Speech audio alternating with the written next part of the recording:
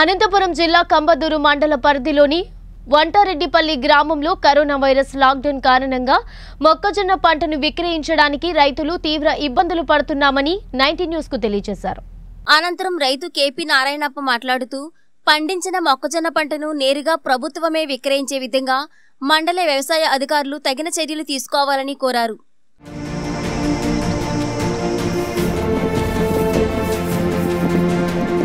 మన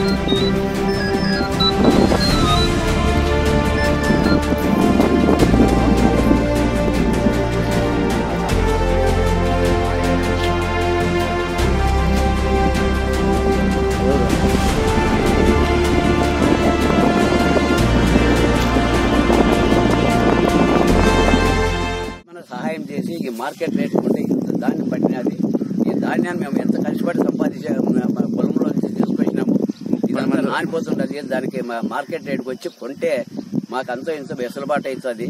లేకోకుంటే మేము ఈ నాన్ పెట్టుకొని మేము ఈ ఇన్నులో పోసుకునే స్థలం లేదు.